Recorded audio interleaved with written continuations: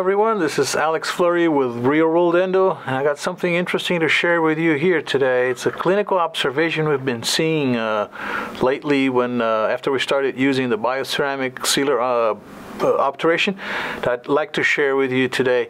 See, you, you remember when when a tooth is not restored, see, this is a beautiful root canal treatment here that was done uh, with this, uh, this, particular case was done with Thermafil.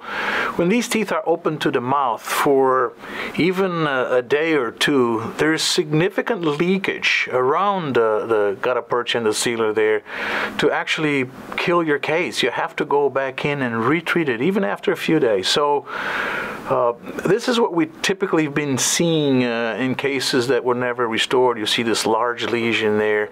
Here's another example. This is leakage through gutta percha. This was a, a warm vertical gutta percha condensation case. Nicely done too.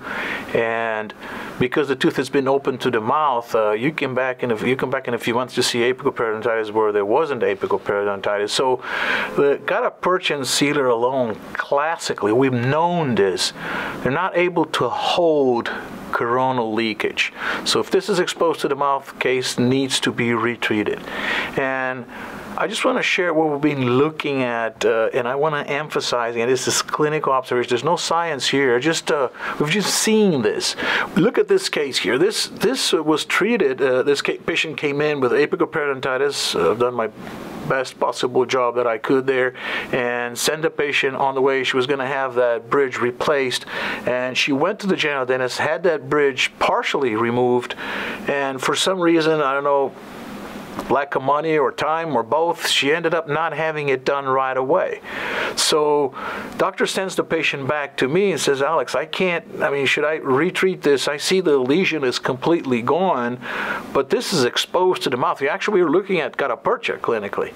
So I can't recommend at this date that you don't retreat it. I think it's a good idea to retreat. I'm sure there's some leakage there, but I want you to observe this is there's not enough leakage to sustain apical periodontitis. So this is a kind of seal you get with this uh, bioceramic obturation, this monoblock obturation with uh, with a gutta percha lined with a bioceramic sealer. I think it's a pretty tight seal. And we see this consistently. This is a case from my, my friend Dr. Yogesh Patel. He's done a beautiful job in the root canal there, and this uh, lower molar patient comes back uh, 26 months for another treatment. The tooth was never restored. The, the coronal portion is completely gone, but you look, there's no apical periodontitis. It's healed.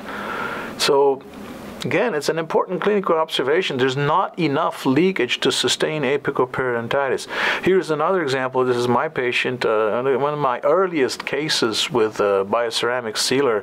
First year we started using it, and there was no apical periodontitis there to start with. I've done uh, root canal treatment there on the second mandibular molar, and and she came back for root canal treatment on 19 and at this point the crown a coronal portion of uh, I'm sorry 30 the coronal portion of 31 is completely gone and here, of course, there is leakage, but it's not enough leakage to allow apical periodontitis. Here's another case with a six months follow-up. This case was done and had a cotton pellet and IRM. You know what IRM looks like after a few weeks in function, right? Eating food, normal, regular food. It doesn't look pretty. This is six months later. There is obvious leakage in this IRM here, but it's not enough to sustain apical periodontitis. Here's another case, same scenario, done the root canal treatment in a tooth with apical periodontitis, necrotic pulp and apical periodontitis got a cotton pellet in uh, and, and uh, IRM. This patient was going to have that crown replaced.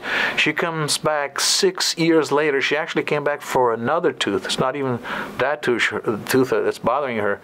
And I shoot a follow-up x-ray. The apical periodontitis is completely gone. Again, folks, these are clinical observations. Maybe in the future we'll be able to write this down as science. Uh, for now, it stays as a clinical observation, but a cool one. All right, thanks for listening. This has been Alex Fleury with Real World Endo.